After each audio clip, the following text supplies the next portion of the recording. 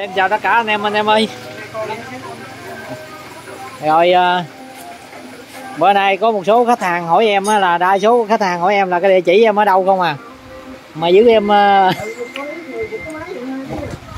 à, hỏi địa chỉ em ở đâu với thứ à, có một số anh em á là hỏi em còn bán cái gì thêm không? Thì bữa nay để em quay cho anh em coi nha em à, cái nghề bán máy là nói chung là em mới làm gần đây. Nói chung là cái nghề tay trái em ở nghề phụ. Còn ở trước thì ờ, à, dàn thợ em là sửa chuyên về máy hay thì máy cắt cỏ máy xăng máy dầu anh em. Còn à, bán thêm một số linh kiện linh tinh như đặc biệt là đồ điện. Đồ điện rồi à, mấy dụng cụ làm bên sửa máy mình á. Nói chung lụm bà lằng có nhiều anh em hay hỏi em là địa chỉ chỗ nào thì bữa nay em cũng xin nói lại nha em ở ấp Minh Kim xã Minh Thuận U Minh Thượng thì em không phải sống riêng là cái nghề bán máy này không à, bởi có nhiều anh em hỏi em là là có làm thêm gì không? Có làm thêm cái nghề gì không? Thì ở hôm trước em cái nghề chính của em là gì nè? Là em à, em bán nó dung lùm bà lặn hết. Đồ điện đặc biệt là bên đồ điện anh em với phụ tùng máy xăng máy dầu á. Phụ tùng máy xăng máy dầu. Rồi à, nói chung là cũng phục vụ để cho bên mình bán máy nổ để có phụ kiện cho bà con anh em thay thế thôi đó nói chung em cũng không biết nói sao nhưng mà bà con an tâm ha. Là khi em đặt ra một cái giá một cái máy nào đó thì em cũng cân nhắc rất là nhiều. Để làm sao mà vừa túi tiền ờ, của anh em mà miễn sao mà bán cho anh em không cảm thấy mắc. Rồi à, giữ à, nó làm sao mà cho em nó lời dưới cái mức vừa phải ha chứ không phải mà bán ngày một bữa rồi thôi thì bởi vì ờ, anh em an tâm. Chứ mà cá tính của em ờ, nếu anh em nào mà đã mua đồ của em thì anh anh em cũng biết tính em ha. Là em có sao em nói vậy? Bị ờ, em bán rất nhiều thứ. Em không có chịu ai nói thách là cái thứ nhất. Với cái thứ hai nó là nói tới nó lui.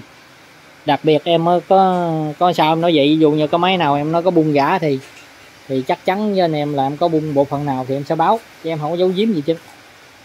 Còn đây là một số nói chung là cái góc nhỏ để mà linh kiện của mấy cái phụ tùng của mấy cái máy máy ếch máy ép Kubota đâu đó anh em. Là em có bán hết ha. À, bên bên em vừa bán bên máy nổ nhưng mà cung cấp bên phụ phụ tùng luôn. Để anh em an tâm. Khi mà mua bên cái máy của em ở nào thì à, anh em an tâm ha là sẽ có phụ tùng thay thế. Trừ khi trường hợp mà tiệm của em hết thì em sẽ cố gắng em kiếm cho anh em hoặc là anh em gấp quá là em có thể em giả cái máy zin của em ra, em đáp ứng cho anh em luôn. Thì có em ờ, với có một số anh em cứ hỏi đi, hỏi lại em hoài là cái máy bãi về ờ, đặc biệt là giống như cái máy này nè.